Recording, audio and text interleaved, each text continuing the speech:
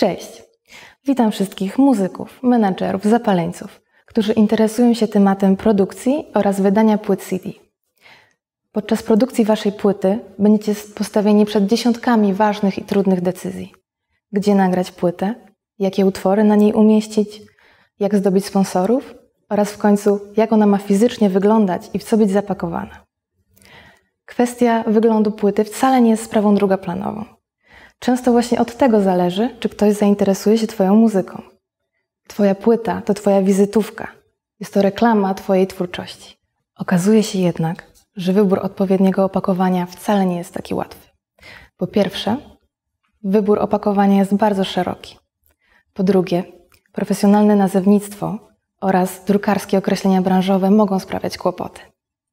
Właśnie dlatego, moi drodzy, postaram się Wam dzisiaj trochę pomóc. Zaprezentuję kilka rodzajów opakowań, opowiem czym się między sobą różnią oraz na co szczególnie trzeba zwrócić uwagę przy wyborze odpowiedniego dla siebie. To jest koperta kartonowa. Najprostsze i najbardziej ekonomiczne rozwiązanie. Jeśli chcecie ludziom rozdawać płyty czy wysyłać wasz singiel, to rozwiązanie idealne dla Was. Kolejnym opakowaniem jest ekopak. Nazywa się tak dlatego, gdyż nie ma żadnych plastikowych elementów.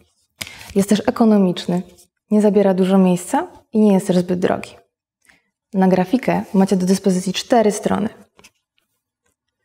Płyta wkładana jest w nacięcie, ale zapewniam Was, że nie niszczy się od ciągłego wyciągania. To jest Digipack, przez niektórych nazywany po prostu Digipack. Jest to król wśród opakowań muzycznych. W ostatnim czasie wyparł spółek sklepowych tak popularne niegdyś Javel Boxy, czyli zwykłe plastikowe opakowania. Tutaj płyta umieszczona jest na plastikowej tatce. Czy nie wygląda elegancko? Ciekawą opcją jest też książka w twardej oprawie z płytą. Ale o tym już następnym razem. Opakowania kartonowe, w przeciwieństwie do plastikowych, dają wiele możliwości. Można je rozbudowywać o kolejne panele, co przy odrobinie wyobraźni daje duże pole do popisu dla grafika. Można je również pokryć folią błyszczącą, matową czy aksamitną, czy też wydrukować na ciekawym papierze. Mam nadzieję, że Wam pomogłam. Jeśli chcecie obejrzeć inne opcje opakowań, zapraszam na mediapixel.com.pl.